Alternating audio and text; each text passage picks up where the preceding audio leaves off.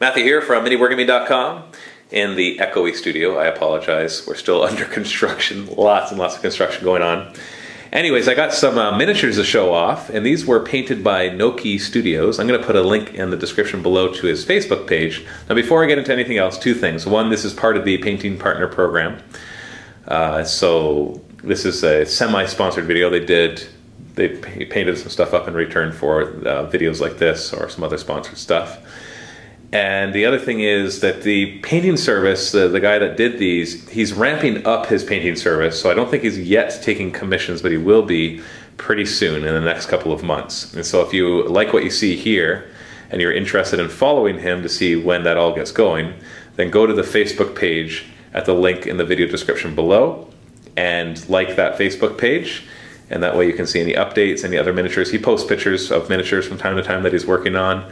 So if you want to just, uh, if you if you're the kind of person who likes to get that kind of stuff into your Facebook feed where you just see lots of cool painted miniatures, then I recommend that you go and like that page. Or if you want a commission from him, then definitely you can contact him through that and start getting ready to get it set up. So what we have here is a few things. We've got some uh, Nurgle Tyranids. As you know, I've been working on getting, or maybe you know, I've been working on getting ramped up for a Nurgle Tyranid narrative campaign that'll be coming out later this year. It's going to be a little while still.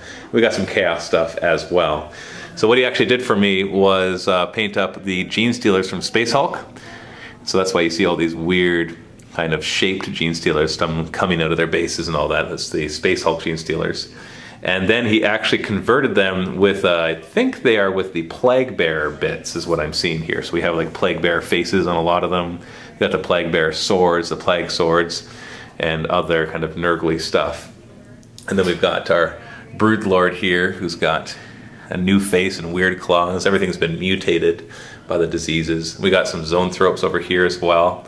And then a Nurglified flying hive tyrant. So he's used all sorts of Nurgle bits to, to Nurglify them. Nurgle, Nurgle, Nurgle, Nurgle, Nurgle. How many times can I use the word Nurgle? But very cool and uh, just you can to see everything that's right here. And then also, now this is not all the stuff that he's done for us. I'm just showcasing some of the work that he's done. We've got a Chaos Lord in Terminator armor on a Juggernaut. Very cool model on a very epic base. And so I wasn't even aware that you could have Terminator armor on a Juggernaut. That seems pretty extreme to have that 2 plus armor on top of a Juggernaut. But it's a very epic model. So very cool. And then this is something that he made for us a while ago. Uh, and I actually don't know exactly what that is. I think it's a Nurgle Lord from Fantasy. And so all sorts of converted parts there. And then we've got a couple of the Khorne chariots over here as well. So like I said, definitely check them out. Go to facebook.com. I believe it's Noki Painting or Noki Studio. It doesn't matter. There will be a link in the video description below and also a link showing right here on this video. So go ahead and check them out. Thanks for watching and happy wargaming.